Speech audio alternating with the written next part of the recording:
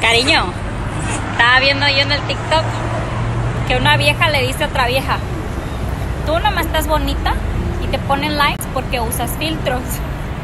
Y le digo a la otra pinche vieja, y a tú nomás estás casada porque aguantas cuerno.